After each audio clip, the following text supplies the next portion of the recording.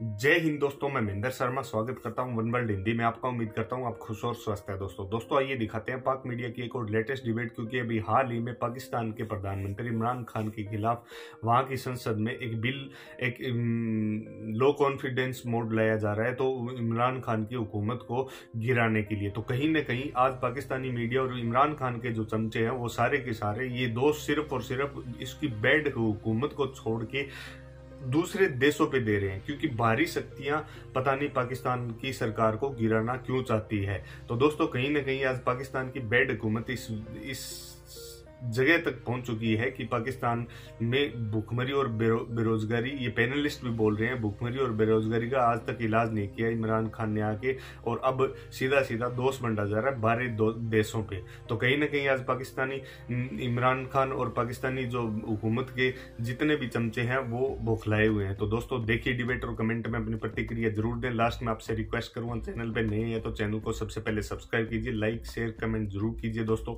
जय हिंद, वंदे मातरम। भारत माता की जय दोस्तों।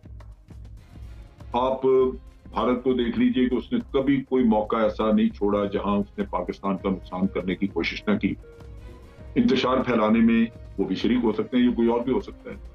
दूसरी बात यह है कि फॉरेन पॉलिसी के इश्यूज़ जो अमूमन आपको फॉरेन ऑफ़िस पे छोड़ने चाहिए कि वो उसकी लैंग्वेज अपनी रख के वो ये करें। यहाँ जो डिफाइंस है, हमारी ये जलसों में आती गई। और ये कभी भी किसी सुपर पावर को ये हजम नहीं होगा कि आप उसको इस तरह आप आप हैं क्या? मतलब आप एक कर्जों पे जीने वाली कौम। और अगर वो आप इस बुरी तरह आँखें दिखाएँ किसी को और अगर आप अपने अल्फाज के चुनाव में भी मोहतात ना हो। और उनको कहें कि जी हम आपके कोई गुलाम है। तो इनके बैकलैश भी हो सकते हैं। ये चीज़ें कभी खुले।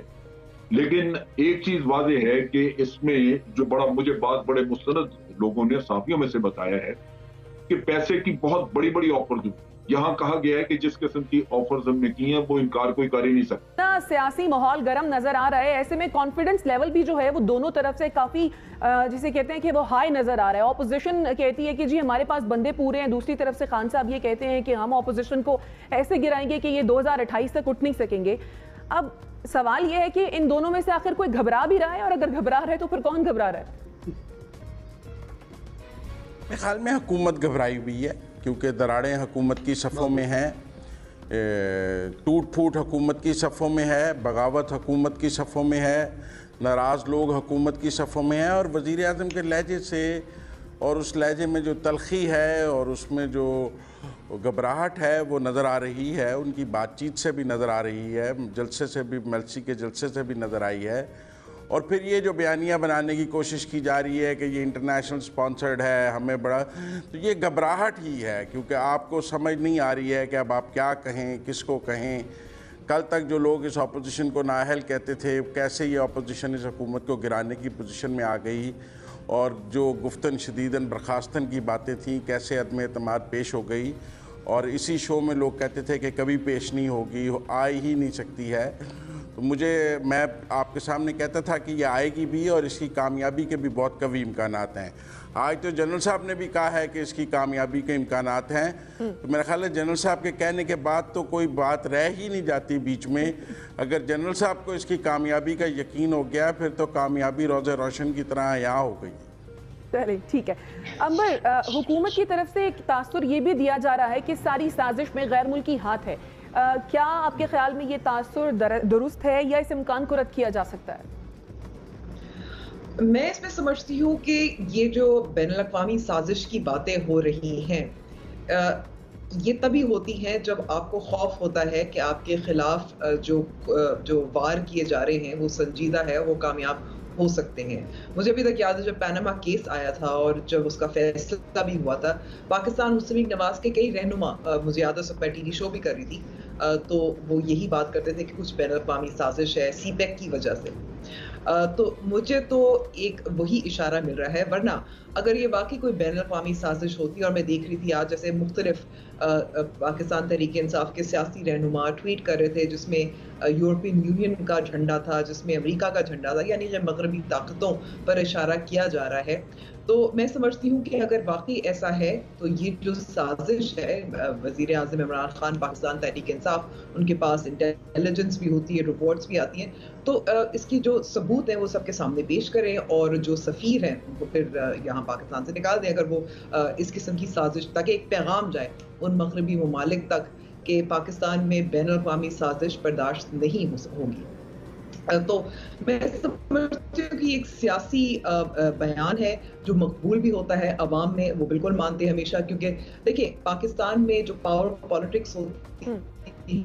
है जो नैरेटिव बिल्डिंग होती है वो इन मकबूल नारों की बुनियाद पर बहुत चलती है तो ये एक इशारा है कि इस वक्त तहरीक इंसाफ हुकूमत और इमरान खान साहब अब कमज़ोर तस्वुर कर रहे हैं आगे अगर हट गए तो फिर उनको एक मौका मिल जाएगा ये हम्म। कहने के लिए कि हमें मुझे इसलिए निकाला क्योंकि बैन अवी साजिश थी हर कोई वजह ढूंढता है।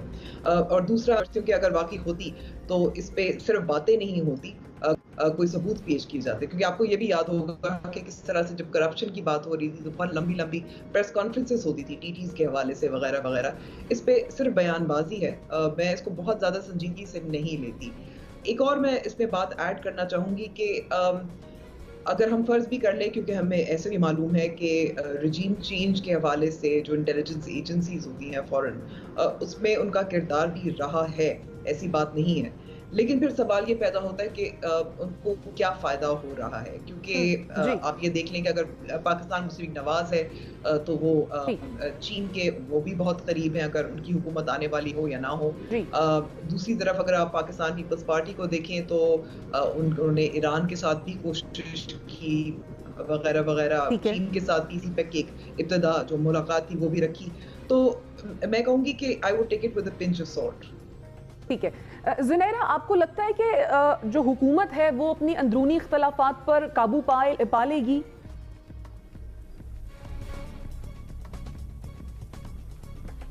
वेल well, uh, मुश्किल लगता है बिकॉज़ um, जो शुरू दिन से uh, पूरे तमाद साथी थे हम कल भी प्रोग्राम में यही बात कर रहे थे वो लोग जिन्होंने जेनुनली uh, यहाँ तक पहुँचने में खान साहब के साथ uh, एक वो जमहूरी रोल प्ले किया जो पॉलिटिक्स में किया हम्म। जाता है वो कहीं दूर रह गए। और ना सिर्फ़ वो दूर रह गए उनको दूर किया गया उनको टारगेट भी किया गया आ, कुछ ख़ास लोगों की वजह से। अब बिकॉज़ एक ऐसी सिचुएशन पे सब कुछ कन्वर्ज कर रहा है जहाँ पे आ, सारे समझते हैं कि अपने अपने ब्राउनी पॉइंट्स स्कोर किए जा सकते हैं और अपने अपने स्कोर सेटल किए जा सकते हैं तो वो सारे खुल के मैदान में आ गए हैं। अलीम ख़ान की कल की प्रेस कॉन्फ्रेंस वो बहुत नपी तुली थी, उसके बावजूद वो बहुत कुछ कह रही थी। बियॉन्ड द कंटेंट अगर चीज़ें देखी जाएँ जो लोग उनको जानते हैं तो ही फर्मली बिलीव्स के उनको नैब में उनके अपने लोगों ने ही भिजवाया। इसी तरह जहांगीर तरीन के ऊपर केसेस करके ये साबित किया गया कि हम सिर्फ़ अपोजिशन के लोगों को नहीं पकड़ रहे, हम तो बड़ा इंसाफ कर रहे हैं, हमारे अपने लोग भी हैं। तो लोग इसलिए नहीं होते कि आप उनका फ़ायदा उठाएँ और उसके बाद उनको डिस्पोज कर दें। तो एक तो ये वो बैकलैश आ रहा है। हम्म। दूसरा एक पता नहीं अनड्यू कहना चाहिए या अनवारंटेड कहना चाहिए जो एक ताल्लुक है उस्मान बुजदार का इमरान खान से। अगर इमरान खान ये समझते हैं कि उस्मान बुजदार की खातिर वो अपनी गवर्नमेंट भी लूज़ कर दें तो it's not a joke for him तो फिर इस पर क्या ही कहा जा सकता है? इस पर क्या तबसरा किया जा सकता है? लेकिन जो टाइमिंग है, कल की अलीम खान की प्रेस कॉन्फ्रेंस की, वो बड़ी इंटरेस्टिंग है बिकॉज़ किसी हद तक इस बात पे आमादगी हुई थी कि सी शिप के लिए क्यू लीग को कंसिडर किया जाए, लेकिन ज़ाहिर है फिर वो डिसग्रंटल्ड ग्रुप ने ये सोचा कि अगर अलीम खान आपको काबिल कबूल नहीं है तो परवेज़ इलाही या मोनस राही कैसे आपको काबिल कबूल हो गए? तो बहुत डिस्कॉटमी डाइकॉटमी है विद इन द पार्टी तो मुझे लगता है कि इमरान खान को इस वक्त होश से काम लेने की ज़रूरत है। यू टर्न्स बेतहाशा लिए हैं और मुझे तो कभी भी अगर कोई चीज़ इंटरेस्ट में हो मुल्क के तो उसमें प्रॉब्लम नहीं नज़र आती यू टर्न लेने में। गो के बार बार यू टर्न लेना और उसे जस्टिफाई करना उनकी आदत है। मैं उससे हट के अपना पॉइंट ऑफ़ व्यू दे रही हूँ। लेकिन यहाँ तो फिर मामला सर्वाइवल का है और मुल्क के सर्वाइवल का है।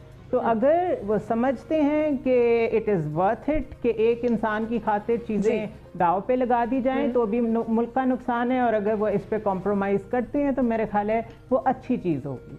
ठीक है। एनबीसी आप भी कुछ ऐड करना चाह रहे थे? मैं ये कह था मैंने जानबूझ कर ज़िक्र नहीं किया था गैर मुल्कियात का।